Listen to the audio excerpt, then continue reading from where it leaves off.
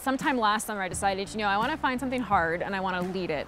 And so a friend of mine recommended Reefer Madness, which is an 11A, four-star 11A in Clear Creek.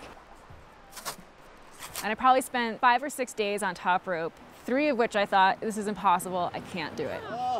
And then on that fourth day, I un- unlocked some kind of sequence where all of a sudden I thought, whoa, this is possible. You got this. Not that long ago, I would have just settled for being a 5.8 top rope climber for the rest of my life. And then I did Reefer Madness, and it just didn't seem that hard. It was such an eye opening experience. I was just like, I should be doing harder routes. I don't get the impression that she has any intention of stopping anytime soon.